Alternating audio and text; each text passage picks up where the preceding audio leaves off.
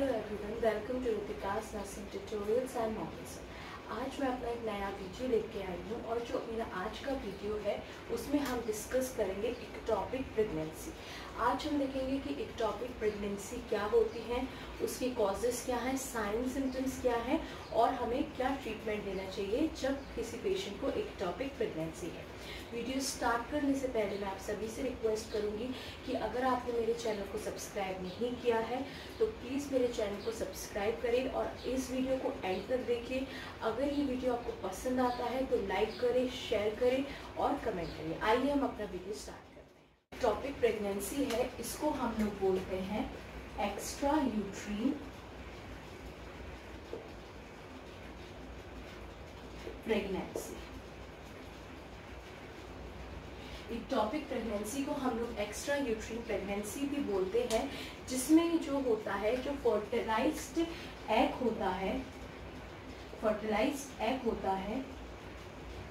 वो ग्रो और डेवलप कर देता है आउटसाइड द यूट्रस अगर हम नॉर्मल प्रेगनेंसी में देखते हैं तो जो भी हमारा फर्टिलाइज्ड एग है, वो फेलोपियन ट्यूब के द्वारा अंदर जाता है यूट्रस में, वहाँ पे है, वो डेवलप और ग्रो होना स्टार्ट होता है, फिर वो एम्ब्रियो से फीटस में डेवलप होता है. लेकिन अगर किसी भी पेशेंट को एक टॉपिक प्रेगनेंसी होती है तो एक टॉपिक प्रेगनेंसी में जो फर्टिलाइज एग होता है, वो क्या होता है, वो यूट्रस के बाहर आउटसाइड द यूट्रस या फिर बैली में कहीं पे भी जाके वो ग्रो और डेवलप होना स्टार्ट हो जाता है, वो फेलोपियन ट्यूब के ऊपर के द्वारा जो है उसका जो डेवलपमेंट है ग्रो होना स्टार्ट होता है, वो अंदर नहीं जाता है। इसको हम लोग बोलते हैं इक्टॉपिक प्रेगनेंसी ये मोस्टली 90 परसेंट ऑफ़ वुमेन में देखने को प्राप्त होता है और one of 50 percent of women यानी कि 20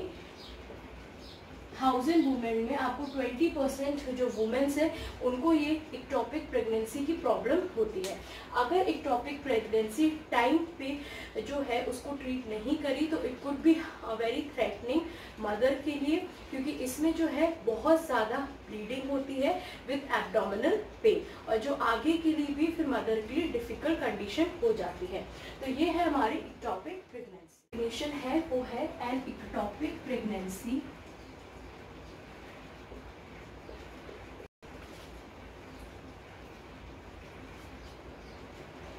is a pregnancy in which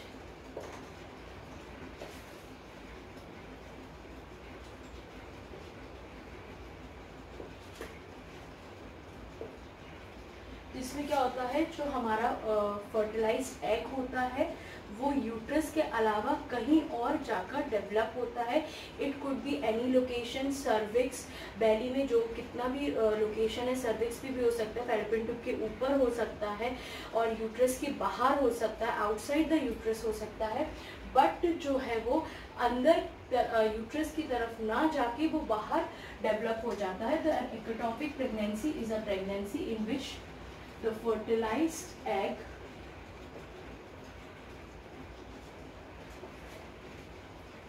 grow outside the lining of the uterus or somewhere else in the belly. तो ये है हमारी इक्टॉपिक प्रेगनेंसी इसको हम लोग एक्स्ट्रा यूट्रिन प्रेगनेंसी भी कहते हैं। अब हम जो है डिस्कस करेंगे what are the causes of ectopic pregnancy वो कौन कौन से कॉजेस है जिसकी वजह से इक्टॉपिक प्रेगनेंसी हो सकती है या वो कौन से रिस्क फैक्टर्स है कि इनकी संभावना होती है एक टॉपिक प्रेगनेंसी होने की। अगर वो वो जो रिस्क फैक्टर्स है जो पुश करते हैं कि जिनकी वजह से एक टॉपिक प्रेगनेंसी हो सकती है। तो अब हम देखते हैं जो कॉज है, सबसे पहले अगर कोई भी इन्फेक्शन या इन्फ्लेमेशन हुआ है, जो हमारा ट्यूब है फेलोपियन ट्यूब में, जिसकी वजह से जो ट्यूब है वो पार्शली या एंटायरली ब्लॉक हो गया हो तो उसमें चांसेस जो है कॉज हो जाता है, जिसकी वजह से जो है एग की मूवमेंट प्रॉपर तरीके से नहीं हो सकती उसकी इम्बेड हो सकती है और वो फेलोपियन ट्यूब के अंदर ना जाके ट्रेवल करके वो आउटसाइड द यूट्रस या outside the fallopian tube grow करना स्टार्ट हो जाते हैं। तो सबसे पहले जो हम कॉज देखते हैं एन इन्फेक्शन और inflammation in the fallopian tube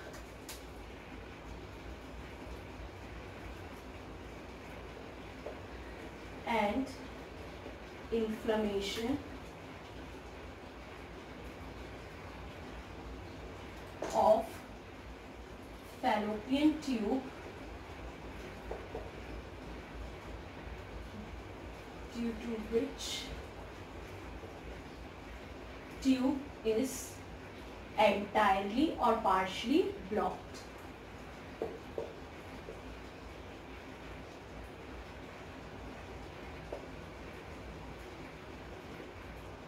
क्योंकि अगर कोई भी इन्फेक्शन या इन्फ्लेमेशन होता है, जिसकी वजह से जो हमारा फेलिपियन ट्यूब है, वो आधा पार्शली ब्लॉक हो जाता है तो जो एक्स ट्रेवल करते हैं, वो उनकी जो मूवमेंट में ऐसा पड़ता है और उसकी वजह से वो फेलोपियन ट्यूब के अंदर नहीं जा पाते तो वो outside the fallopian tube grow करना स्टार्ट हो जाते हैं। पहले हम ये देखते हैं फ़र्स्ट कॉज में due to infection and inflammation of the tube second हम डिस्कस करेंगे कोई भी स्कार या टिश्यू हुआ, जो भी है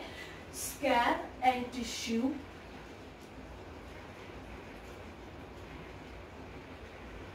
जिसकी वजह से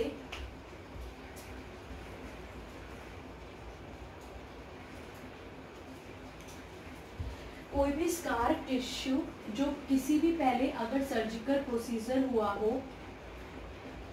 प्रोसीजर हुआ हो, या फिर आप बोल सकते हो पहले कोई इन्फेक्शन या इन्फ्लेमेशन हुआ हो जिसकी वजह से स्कार टिश्यू हुए हैं,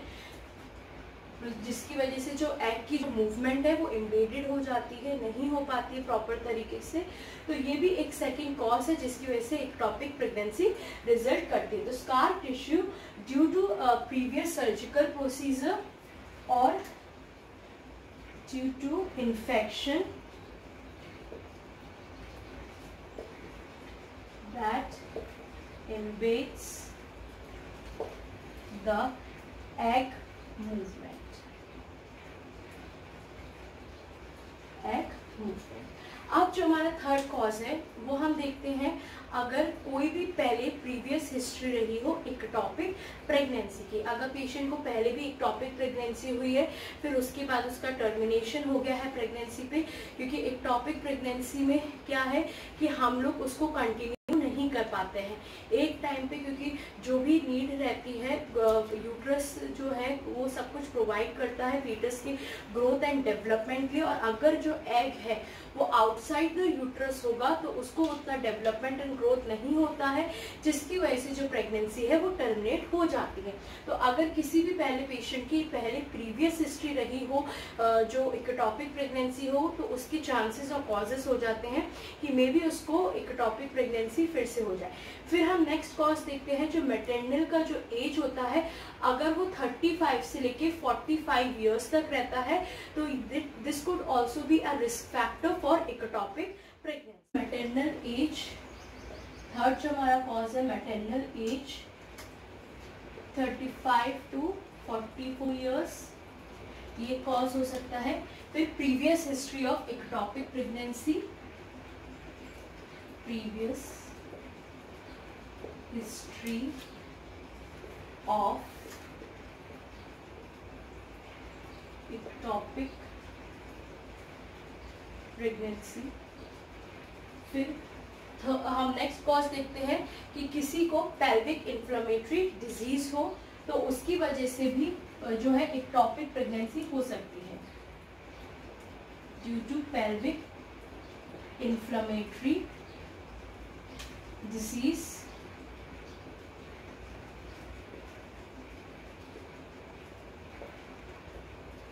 फिर हम देखते हैं कि जो प्रेगनेंसी है, अगर पहले जो डिलीवरी हुई है, उस टाइम पे जो मदर ने प्रोटेक्शन या आईयूडी का यूज़ किया है, लेकिन आईयूडी का यूज़ करने के बाद भी प्रेगनेंसी कंसीव हो जाती है तो that can be a cause of ectopic pregnancy conceiving when IUD is in place. अगर IUD का यूज़ हुआ है प्लेस पे है, उसके बाद भी जो मदर है, वो कंसीव कर रही है तो वो इक्टॉपिक प्रेगनेंसी का कॉज हो सकता है। फिर हम नेक्स्ट देखते हैं एंडोमेट्रोसिस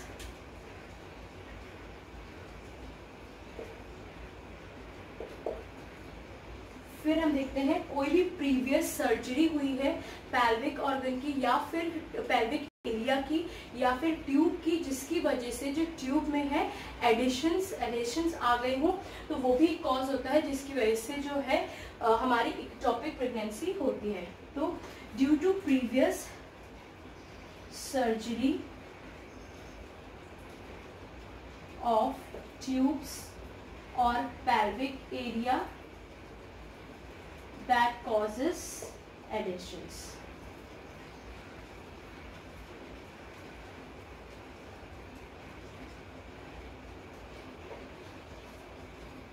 जो हमारा नेक्स्ट डिस्कस करा, अगर किसी भी पेशेंट की पहले कोई भी इनफर्टिलिटी ट्रीटमेंट चल रहा हो इनफर्टिलिटी ट्रीटमेंट चल रहा हो, या फिर वो इनफर्टिलिटी की कोई भी ड्रग्स या मेडिकेशंस को ले रहा है तो उसकी वजह से भी एक्टॉपिक प्रेगनेंसी के चांसेस हो जाते हैं।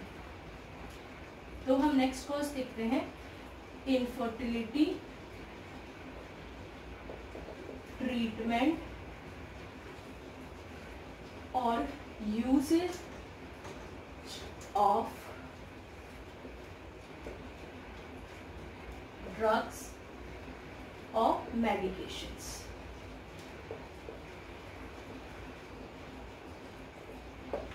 फिर नेक्स्ट हमारा है स्मोकिंग अगर जो मदर है during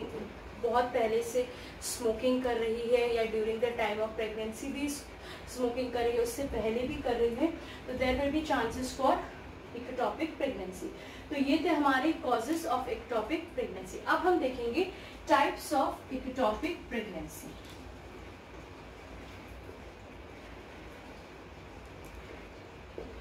types of ectopic pregnancy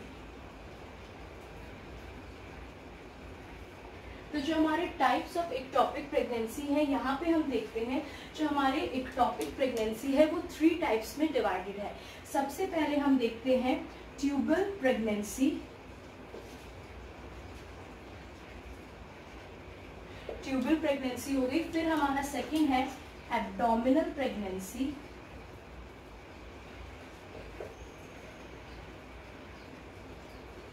और जो हमारा थर्ड है, वो है सर्वाइकल प्रेगनेंसी तो है हमारी three types of ectopic pregnancy topic pregnancy क्या है? जो ट्यूबर इक्टॉपिक प्रेगनेंसी है, इसमें जो है, जो फर्टिलाइज एग होता है, वो फेलिपियन ट्यूब के ऊपर डेवलप होता है ग्रो होता है, लेकिन अंदर नहीं जाता है, उसको हम लोग बोलते हैं tubal ectopic pregnancy the fertilised egg start growing on the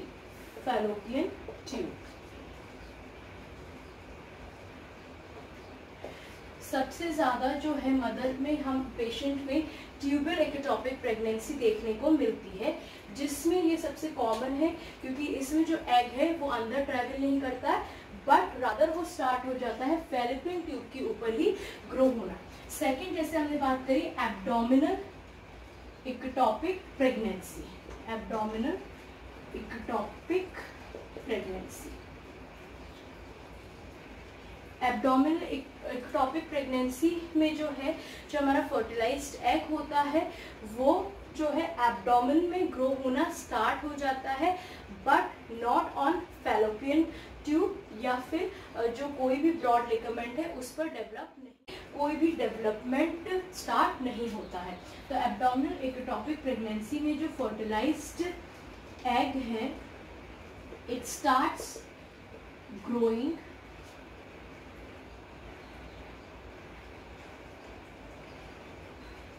Outside the worm in the abdomen. But not on fallopian tube. अब हम नेक्स्ट देखते हैं हमारा जो सर्वाइकल एक टॉपिक प्रेगनेंसी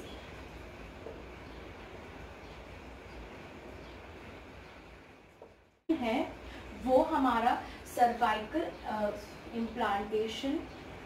जो है एंडोसर्विक्स में स्टार्ट हो जाता है। और ये कंटिन्यू होता है फ़र्स्ट ट्रेमेस्टर तक, उसके बाद टर्मिनेशन हो जाता है। तो ये थी हमारी types of ectopic pregnancy tubal pregnancy abdominal ectopic pregnancy and cervical ectopic pregnancy अब हम डिस्कस करेंगे साइंस 75 जो सेवेंटी फाइव परसेंट वुमेन में होता है, वो होता है सिक्स टू एट वीक्स और फिर अगर 25 परसेंट फीमेल्स में है तो वो होता है फोर टू सिक्स वीक्स में देखने को मिलता है, जिसमें जो ट्यूब है, वो पूरी तरीके से रप्चर हो चुका होता है। तो सबसे पहला साइन सिम्टम है हमारा एमनोरिया फिर हम देखते हैं, जो पेशेंट होती है, अगर उसको एक टॉपिक प्रेगनेंसी है तो उसको क्या होती है हैवी वेजाइनल ब्लीडिंग होना स्टार्ट हो जाती है। विद एब्डोमिनल पेन तो सबसे पहले हम देखते हैं एब्डोमिनल पेन जो हमारा एब्डोमिनल पेन है, वो कंटिन्यू रहता है और साइड एब्डोमिनल पेन होता है। इसमें एक तरफ़ जो एब्डोमिन के है कंटिन्यू पेन रहता है, बहुत ज़्यादा पेन रहता है, जो अनकंट्रोलेबल अनवेरेबल होता है। फिर हम देखते हैं इसमें हैवली जो है ब्लीडिंग होती है हैवली ब्लीडिंग फिर हम इसमें होता है नोशिया एंड वॉमिटिंग पेशेंट को बहुत ज़्यादा डिजीनेस लगता है नोशिया होती है वॉमिटिंग आते हैं, चक्कर होती है, बहुत ज़्यादा वीकनेस होती है। फिर नेक्स्ट जो हम देखते हैं, इसमें जो पेन होता है, वो नेक शोल्डर और one side of the abdomen में स्टार्ट हो जाता है। तो इसको हम लोग जो बोलते हैं, वो बोलते हैं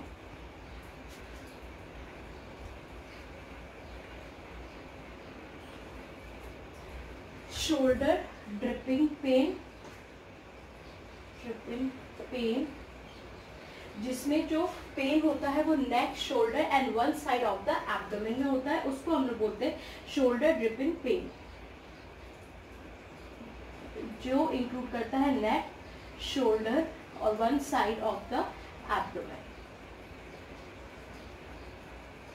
फिर नेक्स्ट हम इसमें देखते हैं यूरिन रिटेंशन जो मदर को एक टॉपिक प्रेगनेंसी है तो उसमें जो रिटेंशन ऑफ़ यूरिन है, बहुत ज़्यादा एक्सेसिव अमाउंट में होती है। तो यूरिन रिटेंशन जो कि बहुत ज़्यादा एक्सेसिव हो जाती है। तो ये थे हमारे साइन सिम्टम्स जिसमें एनोरिया एब्डोमिनल पेन मोस्टली कंटिन्यू होता है, बहुत ज़्यादा होता है। वन साइड ब्लीडिंग जो होती है, वो एब्डोमिनल ब्लीडिंग होती है, पहले कम होती है और उसके बाद ज़्यादा स्टार्ट होने लगती है। फिर हम देखते हैं मदर को नौशिया वॉमिटिंग और डिजीनेस फील होता है। शोल्डर ड्रिपिंग पेन जिसमें जो नेक और शोल्डर और one side of the abdomen में पेन रहता है बहुत ज़्यादा और यूरिन रिटेंशन एक्सेसिव अमाउंट में जो है वो यूरिन का पास आउट हो रहे हैं। अब हम देखते हैं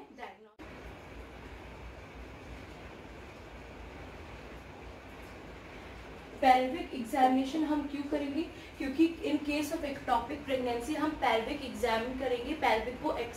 देखेंगे चेक करेंगे कि जो फीटस है, उसकी कितनी ग्रोथ हो रही है, उसकी हाइट कितनी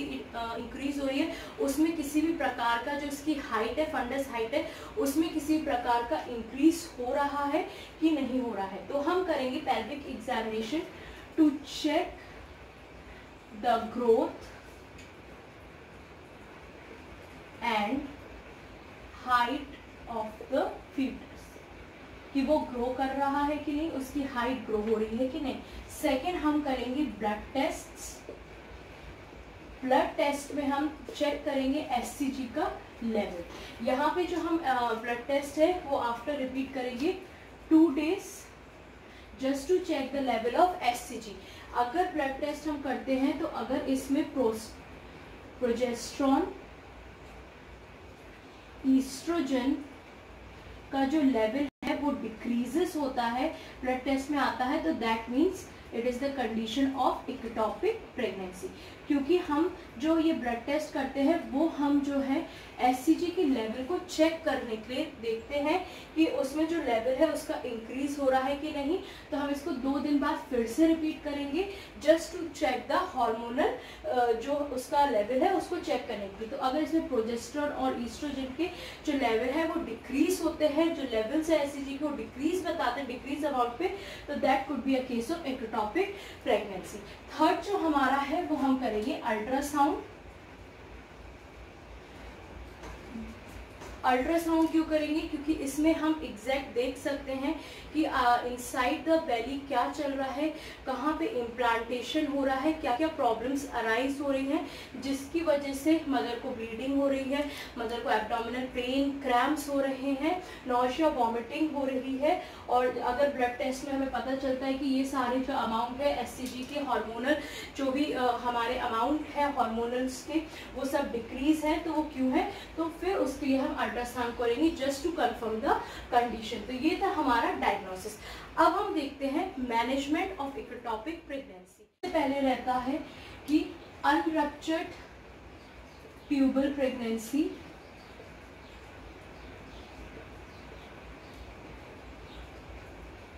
और सेकेंड होता है रप्चर्ड ट्यूबल प्रेगनेंसी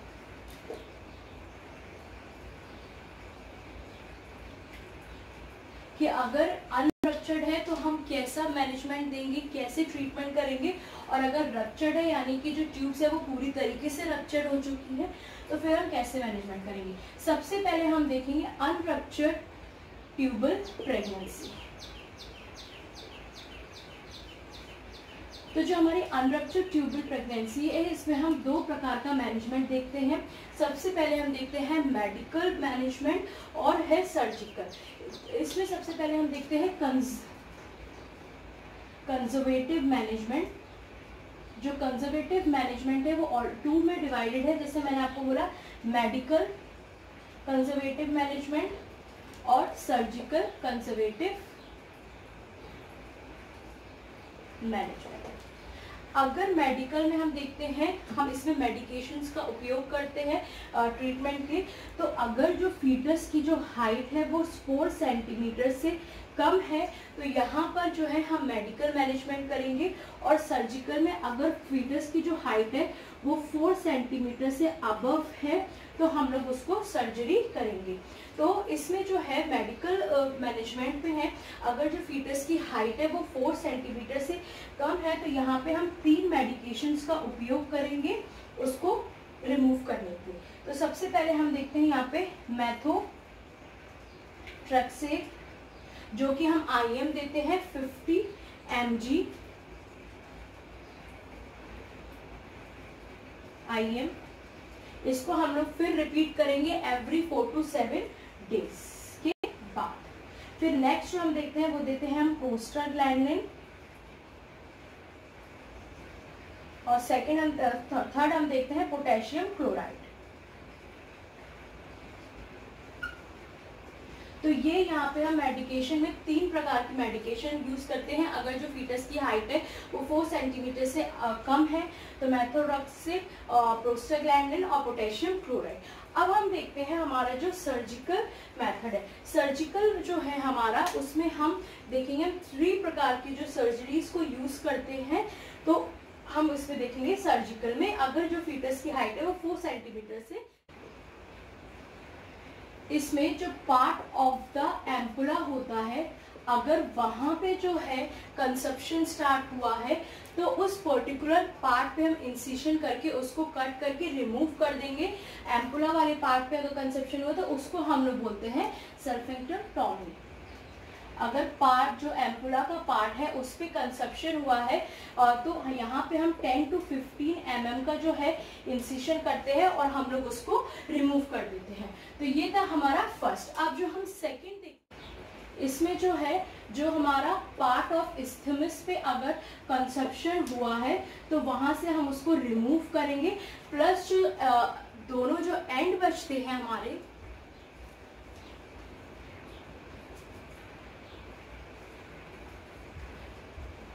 जो दोनों जो फिर हमारे फेलोपियन ट्यूब के एंड बचते हैं, फिर वहाँ पर जो है, हम उनको ज्वाइन कर देते हैं। तो पार्ट ऑफ़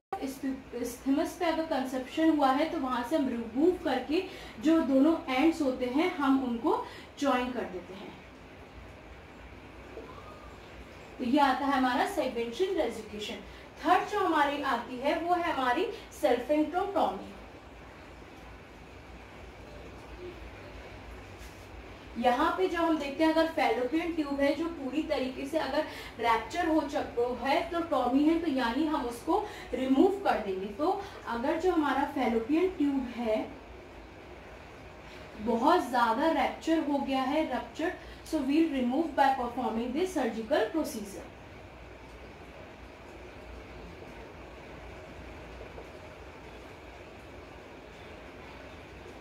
तो ये था हमारा सबसे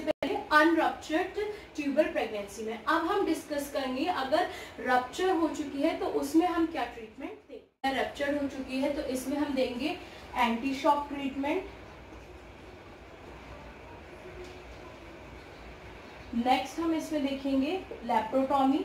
लेप्रोटॉमी है ये जो एक सर्जिकल प्रोसीजर है जिसमें हम देखेंगे आ, कि अगर आ, जो फेलोपियन ट्यूब है पहले हम एब्डोमिनल वॉल्स में जाके चेक करेंगे कि कौन सा एरिया ज़्यादा इफेक्टेड है। तो अगर जो जो पर्टिकुलर पार्ट इफ़ेक्टिव है तो उसको हम लोग सर्जिकल प्रोसीजर के द्वारा हम उस पर्टिकुलर पार्ट को रिमूव कर देंगे निकाल देंगे। तो ये होगा हमारा लेप्रोटॉमी में। नेक्स्ट हमारा जो है सब टोटल हिस्ट्रेक्टोमी होगी। इसमें जो होगा जो भी सबसे ज़्यादा रप्चर्ड या अफेक्टेड पार्ट होगा, जब हम देखेंगे कि जो कौन सा ज़्यादा अफेक्टेड पार्ट है रप्चर्ड पार्ट है, उस पर्टिकुलर पार्ट को हम पूरी तरीके से रिमूव कर देंगे। तो ये आता है हमारे रप्चर्ड मैनेजमेंट में। अब जो हम नर्सिंग मैनेजमेंट में देखेंगे नर्सिंग मैनेजमेंट में हम क्या करेंगे? सारा जो पेशेंट के वाइटल साइंस है, उनको प्रॉपर चेक करेंगे। उसके बाद जो हम है अगर हमें सर्जरी परफॉर्म करनी है पेशेंट पे तो हम उनको पहले ही से बोल देंगे कि छह से आठ घंटे पहले वो कोई भी डाइट ना लें और जो भी उनकी मेडिकेशन चल रही है, सबको स्टॉप कर दे। उनका जो बॉबल है, वो एम करवा दे। अगर पेशेंट नहीं कर पा रहा है तो हम एनीमा उस पेशेंट को दे सकते हैं। प्रोसीजर के बारे में बहुत सारे डाउट्स होते हैं। तो एज अ नर्स हमारी ये रिस्पॉन्सिबिलिटी है कि जो भी उनके डाउट्स है, हम वो सारे डाउट्स को क्लियर कर दें। उनका रिटर्न कंसल्ट ले लें, उसके बाद उनको साइकोलॉजिकल सपोर्ट की बहुत ज़्यादा ज़रूरत होती है। तो एज अ नर्स हम उनको साइकोलॉजिकल सपोर्ट करेंगे। उसके बाद जो है